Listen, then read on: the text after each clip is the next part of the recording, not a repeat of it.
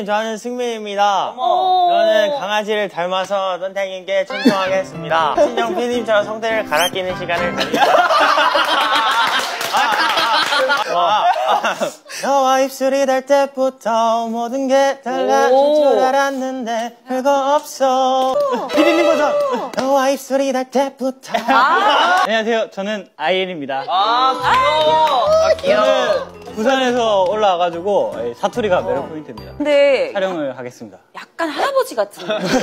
할아버지 정도면 잘해. 아 진짜? 할머니 한번 해줘, 할머니. 할머니 가고 보여줘. 그래, 다들 밥은 먹고.